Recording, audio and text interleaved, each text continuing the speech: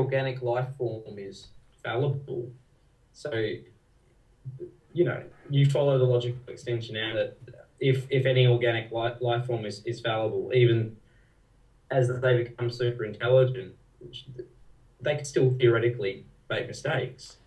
Yeah, it's possible that the simulators might make a mistake, but they would also be in an extremely strong position to cover that mistake up from the people in the simulation.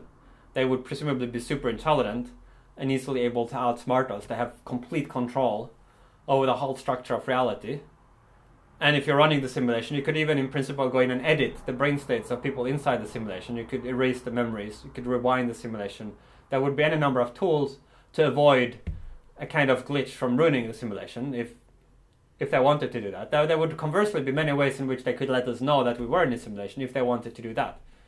It could be a big window popping up in front of you, like informing you you are in a simulation. Like so, it's a hypothesis that certainly there are possible observations which, if we made them, would count, say, heavily in favor of being in a simulation, and therefore there are observations that would count against it as well.